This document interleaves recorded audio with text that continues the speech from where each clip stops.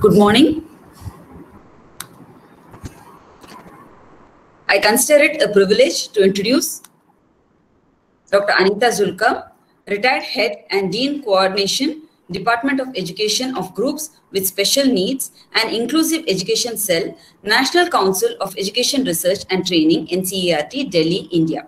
Dr. Anita has been involved in various research, training, development, and extension activities both at the national and international levels and played a leadership role in the major programs of the government of India like the Samagra Shiksha Abhiyan, providing consultancy for develop, developing the state plans for inclusive education. During this course, she has developed three handbooks for including children with special needs in regular classrooms at primary and upper primary level and index for inclusive schools. Madam has also published a number of research and other papers in the area of inclusive education.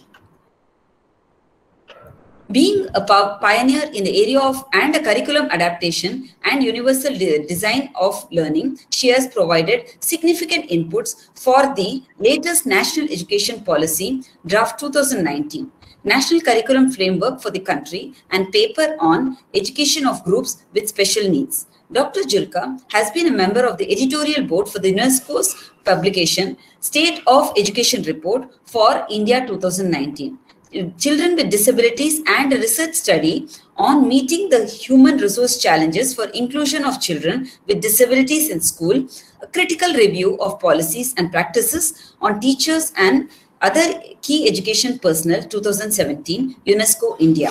She was a member of the core group on children with the National Human Rights Commission and drafted a vision paper for Niti Aayog on empowerment of persons with disabilities. Madam, what an honor it is for us to have you here today and on this platform. Over to you, Madam. Um, thank you so much. And uh, I'm myself very honored to be a part of this uh, uh, gathering and such lovely people. And I heard the last uh, keynote address of Christine, and I was very impressed at how important it is to be conversing, communicating with each other. So this is now the way to communicate with all of you, and I'm very happy to be a part of this. Can you stop presenting so that I can start presenting? Yeah. So uh, since I um, have been working in the NCERT for uh, nearly three decades, and I have been working a lot in the area of inclusive education, which is something which is a uh, you know a policy initiative for government of India.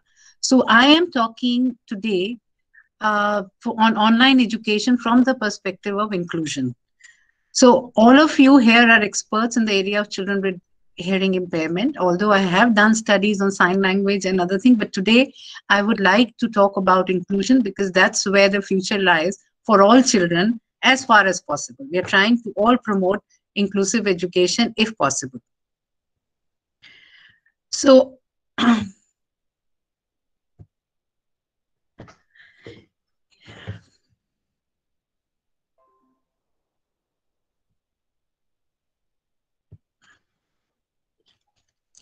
So can you see all this? Can you yes, see my presentation? And if you can hear me? Yes, ma'am. Yes. So today yes, I will be talking about making curriculum inclusive, whether it's an online course or whether it's for teachers, whether it's for students, whether it is for children with hearing impairments or with children with other disabilities. They, we are now in the age when a lot of online courses, as uh, talked about by even Sumi and my earlier uh, keynote speaker has talked about how important it is to develop the skills of the curriculum makers and also the experts who are designing these courses to make them more inclusive so that they are accessible by more and more children, including children with disability, all children with disabilities. Because we cannot have separate courses for separate disabilities. So they all have to be integrated in the same course. So I'll give you my, um, the time given to me is 20 minutes. I'll do justice to that. I'll try to finish it within 20 minutes because I know how long this can stretch. It can go on. So I'll try my best to do it within the time limit I have been given. So first of all, we must understand here we are what we are talking about. We are talking about a curriculum, which could be you know, designed by a lot of experts, teachers, professionals. And if you can see this concentrating, uh, concentric ring of conceptualization of the curriculum, you must realize where does India stand? What does India mean by curriculum? India is actually a lot of places in different, uh, you know, uh, regions of this country also, and also outside this country, maybe conceptualizing curriculums in a different way. But in the Indian uh, context and from the perspective of National Council of Educational Research and Training, we, which actually prepares the national curriculum framework, we talk about curriculum as being the larger broad, having a broader perspective, the outermost ring. If you see contents, goals, teaching methods, assessment, extracurriculum activities, learning environment, hidden curriculum, and culture. When I talk about hidden curriculum, we have a lot of issues here. Disability, accessibility, accessibility to disability students is another issue. And gender is another issue. The children belonging to very poor class and poverty uh, backgrounds, uh, the scheduled castes, the scheduled tribe, the disadvantaged children, all have some, you know, uh, inclusion uh, issues. And from that perspective, our curriculum becomes more and more inclusive if we these undertake these hidden uh, issues and integrate them in our curriculum to make it much more inclusive. So we think, try to think about our curriculum being inclusive and the National Curriculum Framework 2005, which was designed by NCERT, had experts from all disability areas and also did regional uh, consultations to make the curriculum much more inclusive than what it was. So somehow we have this broader perspective of curriculum, which will include everything, including our learning outcomes, our teaching methodology, our pedagogy, everything is included in our curriculum frameworks. So when we are designing curriculum for any online courses, we have to take into our consideration that this is what we are looking for. Not only the content, we are also talking about how this online course is going to be taught, how it's going to be assessed. So all these things are important. All these parameters are important when we design any online courses or uh, you know uh, material for all children, including children with disabilities. Now, a lot of this material is being developed by NCERT, and there is an effort to do some in-learning uh, initiatives for children with disabilities. But we must remember here, and this is a caution I want to exercise, that we have to integrate all together to make it more inclusive. We can't segregate them within an environment where they're already with other children, learning with other children.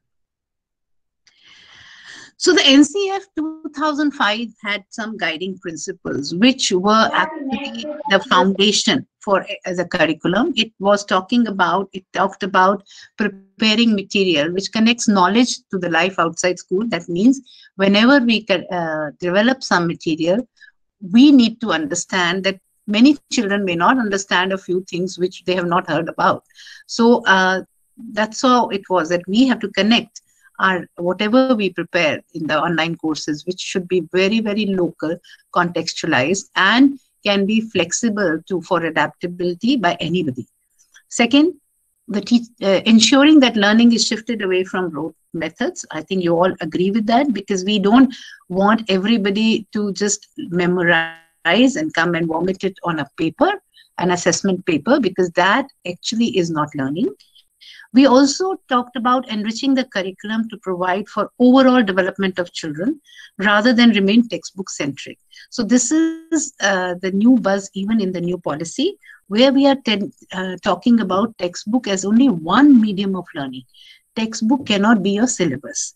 Earlier, the uh, and even now in many places textbook is the syllabus but this is not what actually makes children learn because once they uh, memorize the textbook and they vomit it on the paper they think that class and the uh, goals and objectives are fulfilled but that doesn't happen. That learning doesn't stay with them for long. Making examinations more flexible and integrated into classroom life this is very important because what the children learn they can only have an outcome based on that.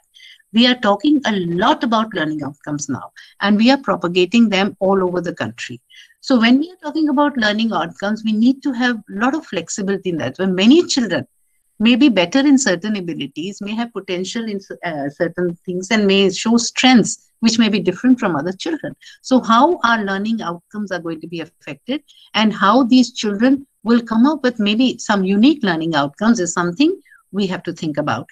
And the last point, which I think is the most important point from the perspective of this session, is nurturing and overriding identity informed by caring concerns within the democratic polity of the country. You know, this statement may sound very difficult uh, when we read it, but actually, what it means is that when we label and categorize children as disabled, at disadvantage, as poor, as uh, you know, um, girls who cannot do this and who cannot do that, then we are giving more uh, identity uh, emphasis. We are giving uh, more uh, emphasis on who they are than, you know, rather than what they can do. So, what is more important is that we have to nurture every child. And whether it's an online cl- uh, class or whether it's a regular class, every child is important. And we have to nurture the child's strength.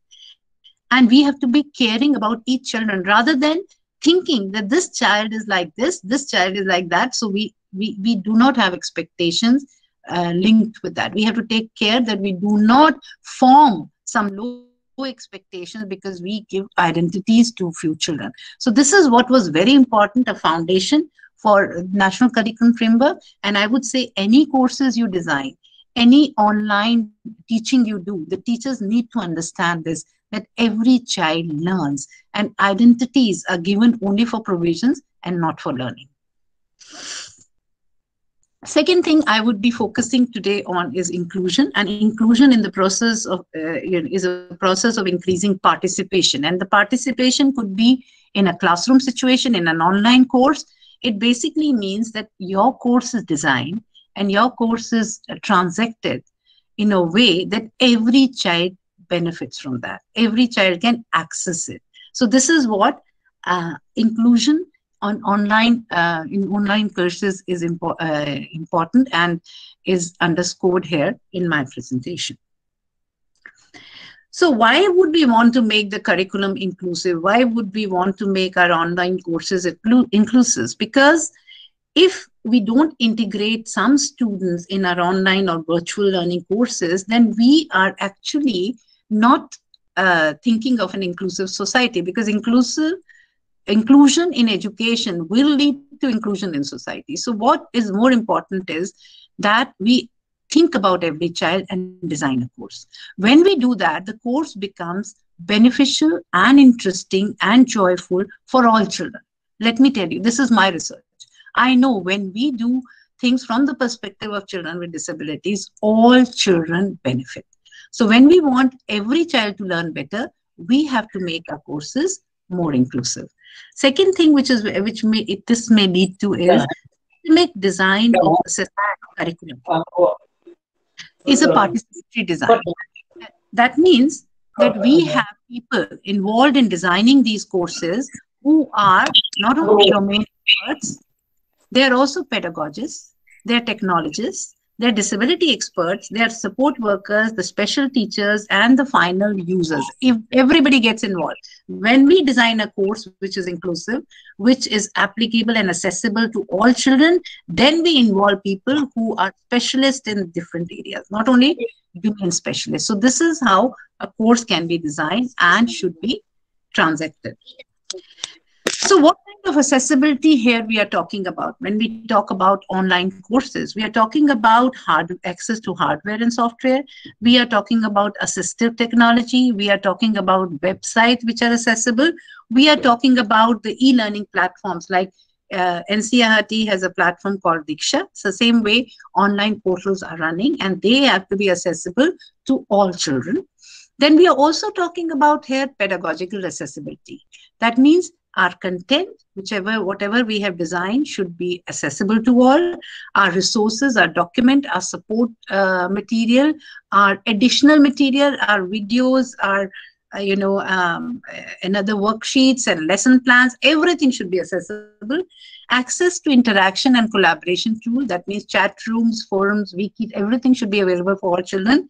And lab, group works, debates, if we have some a contact in between, then all these uh, things should also be inclusive and available for all children. So mostly what is happening now in the countries that most of the e-learning courses and online courses schools are running have not been very accessible to children with disability except children with physical uh, problems because they can uh, you know access these courses so this is where we are having a huge lacuna and we have to work hard on that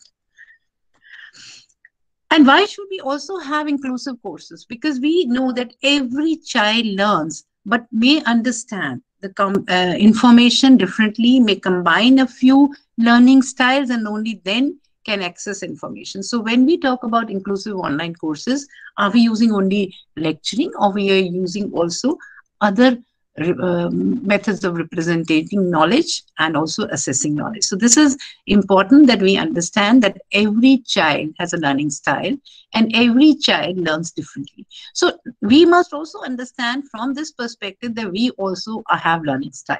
But over the years, as we have grown up, we have integrated those styles and we don't remember what is our dominant learning style. But however, if somebody tells me that you know, to remember a name of the person, I may not remember, but I may remember the face. So I have a dominant visual learning style. I know about myself.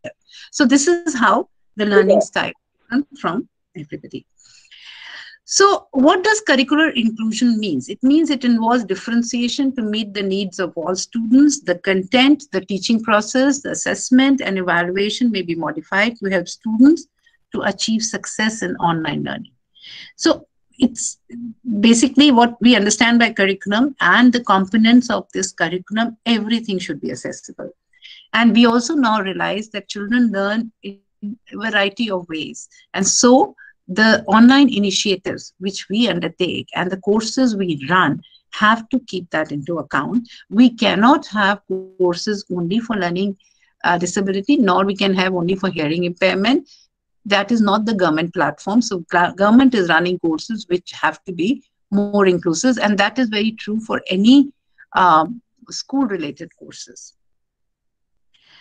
So universally designed online learning is not designed with any particular one particular group of students in the mind. You must remember that. And if that happens, then of course we are segregating a number of children. So um, and neither does it is should be designed with you know the perspective that only one group of disability will have access to them. This should be these should be designed to uh, you know uh, give access to education to a number of groups. And that you know uh, I, like i showed you earlier the moment you think like the courses are universally designed the more accessible they will be for all children and that is why it is important also to understand that we have multiple ways of gaining access to information. And that is why when these online courses are being transacted or given or initiated, they should also have multiple ways of gaining that uh, access to this course. So imparting information is important, but how it is important, imparted is also important. The different learning styles should match the way the information is imparted. Then there should be also multiple ways of engaging. So some may be engaged more with visuals, the other may, you know, like the audio much more. Some may also like some activities, some may like actual demonstrations. So these ways, different ways of engaging children is also important. And there should also be flexible methods of learning. We should not have only one method, one size fits all for all children. So this is a framework which I really like. And I think any uh, course you design online for children uh, must follow this framework, which means there is a pre-design where we decide what kind of course? Is it a school-based course? Is it a geography course? Is it a social science course? Or is it a geometry course or mathematics course? Any course you design think you need to have a theoretical framework. You're following ncert you're following any other textbook or you're designing your own material and you have some conceptual selections on which you will design this material.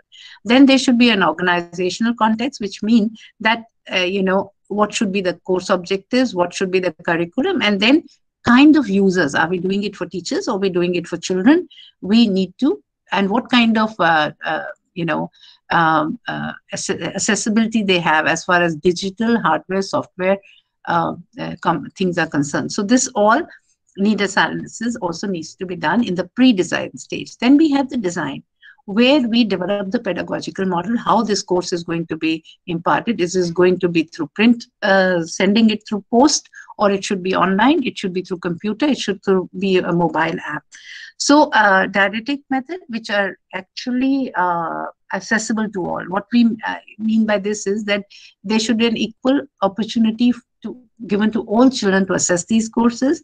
The assessment tools should be designed and the activities and contents also should be initiated. Now we in NCERT on our platform have courses where we have given links to better explanations of few concepts which cannot be assessed by children. So all that flexibility needs to be within built in within the the pedagogical supports need to be built up in the online courses.